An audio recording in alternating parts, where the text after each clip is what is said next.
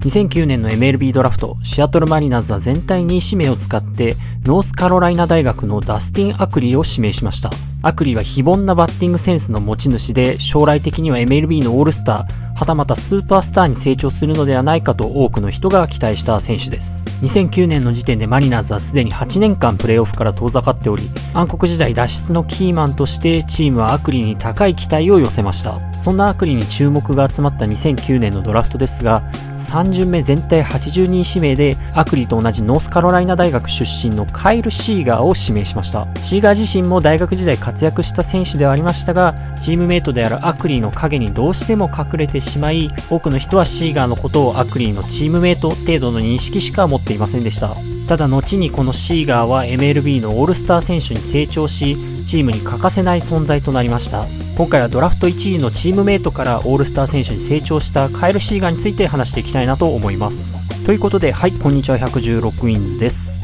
今回はマリナーズの不動のサードのレギュラーであるシーガーについて話していくんですけれども、まず幼少期のシーガーは1987年ノースカロライナ州で生まれまして、で、シーガー3兄弟の長男として生まれました。で、シーガーの兄弟なんですけれども、長男カイル、次男ジャスティン、そして三男コーリー、全員ですね、後にプロ入りを果たすという野球一家で育ったシーガーなんですけれども、リトルリーグ時代はカロライナマリナーズというチームでプレーしており、この時からもしかしたら将来的にマリナーズ入りすることが運命づけられていたのかもしれませんね。で、そのまま高校時代も野球を続けまして、ノースカロライナ州を代表するような選手に成長していったシーガーなんですけれども、高校時代は実はバスケもプレーしておりまして、本人曰く現在 NBA のスーパースターであるステフ・カリーと対戦したこともあるらしいですね。で、その後野球の名門校であるノースカロライナ大学に進学したシーガーは、ここでついにダスティン・アクリーとチームメイトになることとなります。シーガー自身は2年生の時に打率3割4分7厘で打撃の良いセカンドとしてブレイクを果たしますが、チームメイトであるアクリーは1年生の時からレギュラーとして大活躍し、3年間全ての面においてシーガーを上回る成績を残します。アクリーがトッププロスペクトとしてドラフト上位指名が予想される中、シーガーはそのアクリーの影に隠れてしまい、そこまで注目を集めることはありませんでした。そんなアクリーの影に隠れていたシーガーですけれども、マリナーズだけは彼の才能を高く評価していました。当初マリナーズスカウト陣はシーガーを5巡目相当と評価していたそうですが、スカウト部長であるトム・マクナマラは3巡目での指名を進言し、実際にシーガーは3巡目全体82位でマリナーズに入団することとなりました。この指名はマリナーズがアクリーのスカウティングをする際に何度もノースカロライナ大学の試合を見ていたということが大きく影響していたようです。ただそうは言っても注目されたのはやはり全体2位指名のアクリー。大学時代に続いてドラフトでもアクリーの影にシーガーは隠れてしまいました。大学時代に続いてプロでもアクリーの影に隠れてしまったシーガーですけれども、マイナーでは比較的早く成長することができました。2010年はシングル A プラスで打率3割4分5厘と、なかなかのバッティングを見せまして、ベースボールアメリカ誌の球界全体のトップ100人のプロスペクトからは漏れてはしまいましたが、マリナーズ傘下9位のプロスペクトにランクインし、将来的にはメジャーのユーティリティとしての活躍が期待できるのではないかという評価を受けました。ただそうは言っても傘下9位のプロスペクトしかもプロジェクションがユーティリティなわけですから残念ながら当時参加1位でしかも9回内でも指折りのプロスペクトとして期待されていたアクリと比べるとシーガーはここでもアクリの影に隠れてしまうことになってしまいました。そして2011年7月アクリのデビューから遅れること数週間シーガーも MLB デビューを果たします。MLB 昇格後のシーガーは打率2割5分8厘と新人としてはまずまずの成績を残しましたが、当時のシーガーは細身であまりパワーがないバッターでしたので、正直そこまでバッターとして怖いような存在ではありませんでした。実際53試合でホームランがわずかに3本、長打率も3割7分9厘と、正直パワーがある打者とは言い難い成績でしたね。メジャー1年目のシーガーの印象としては、そこまで何かが優れているという感じのバッターではなかったですね。何よりこの年はアクリの鮮烈なデビューが強く記憶に残ってますね。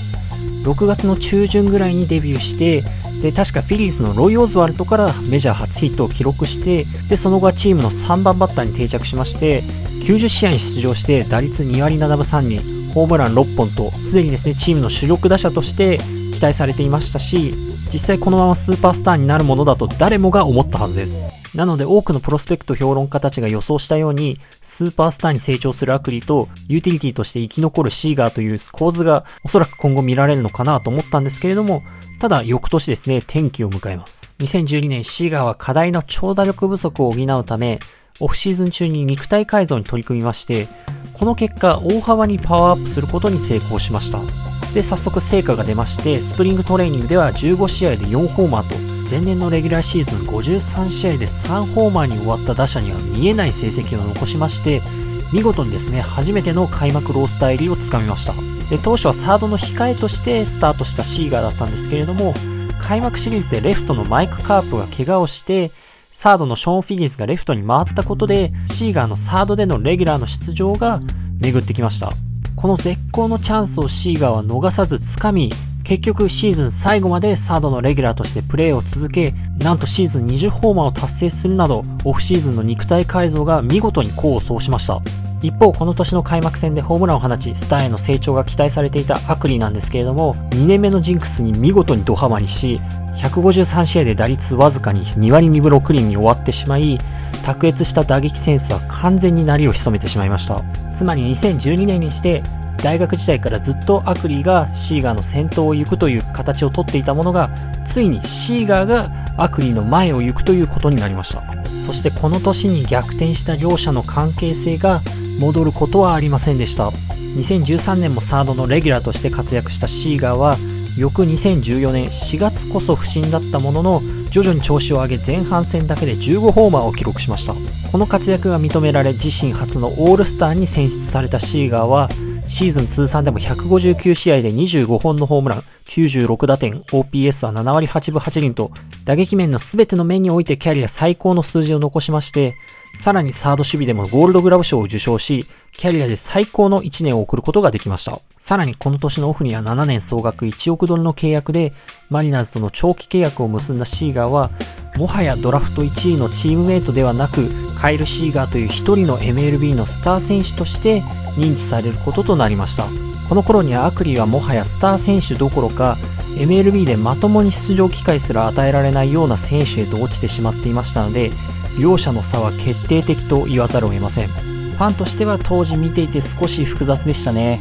シーガーとアクリー同じ大学から入って、ただ2014年にはもはや両者対照的な状態にありましたので、シーガーの活躍は嬉しかった反面、アクリはどうしてこうなってしまったんだと思った記憶はありますね。そしてその後もレギュラーとして活躍を続けたシーガー。2016年にはオールスターに選ばれた2014年を上回る30ホーマー、OPS も8割5分9厘と大活躍をしまして、本当にですね、MLB の中でもトップクラスのサードといっても過言ではない存在に成長していきましたね。で、2017年まで大きな怪我もなく、毎年安定して150試合以上に出場してくれましたので、計算もしやすいという意味でも非常にありがたい存在でしたね。ただ2018年は、まあ、怪我を抱えながらプレーして、で、それが結果としてパフォーマンスに影響が出てしまいまして、結果的にはメジャー定着後最悪のシーズンを送りまして、で、さらに昨年2019年は開幕前に骨折をしてしまいまして、シーズンで106試合しか出場できませんでした。ただそうは言っても彼がいるかいないかで、